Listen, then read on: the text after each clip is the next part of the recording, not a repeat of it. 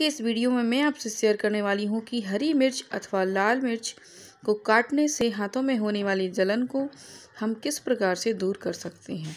इस वीडियो में मैं आपको जो भी उपाय बताने वाली हूँ, उनको अपनाने से पहले आपको किसी हैंड वॉश से अच्छी तरह से हैंड वॉश कर लेना है। उसके बाद इन उपायों को अपनाना है।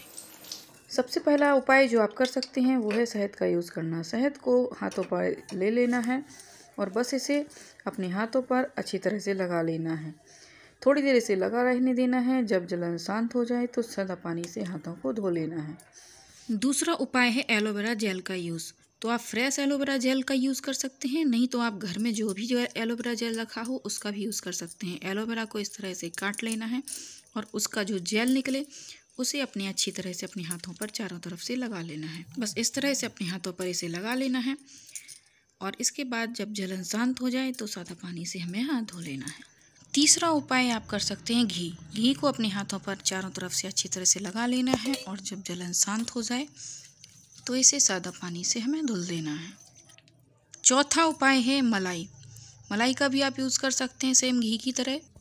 इसे हमें अच्छी तरह से हाथों पर लगा लेना है और जब जलन शांत हो जाए तो सादा पानी से हाथों को धो लेना है। पांचवा उपाय है नींबू के रस का यूज़ करना।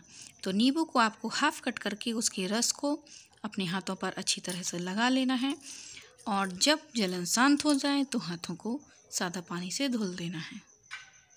छठा उपाय है मिल्क का यूज़ करना। मिल्क में अपने हाथों को इस तरह से डिप कर लेना है और नहीं तो उसे अपने हाथों पर चारों तरफ़ लगा लेना है और जब जलन आपकी शांत हो जाए तो इसे सादा पानी से धो लेना है।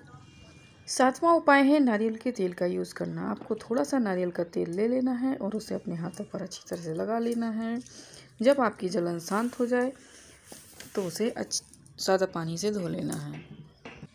आठवां उपाय है गुलाब जल को लगाना। गुलाब जल को भी आपको हाथों पर लगा लेना है और जब जलन शांत हो जाए तो सादा पानी से हाथों को धो लेना है।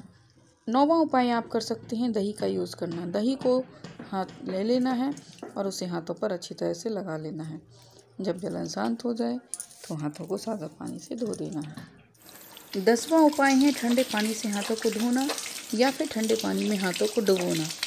तो दोनों ही आप उपाय कर सकते हैं। इसके अलावा आइस क्यूब का भी आप इस्तेमाल कर सकते हैं। ग्यारहवा उपाय है टूथपेस्ट का यूज़ करना। जलन होने पर आपको थोड़ा सा टूथपेस्ट ले लेना है और उसे अपने हाथों पर लगा लेना है। जब जलन शांत हो जाए तो सादा पानी से हाथों को धो लेना है। आई होप फ्रेंड्स वीडियो आपको यूज़फुल लगा होगा। अगर आपको यूज़फुल लगा है तो लाइक कीजिए शेयर कीजिए और मेरे चैनल को सब्सक्राइब कीजिए। Thanks for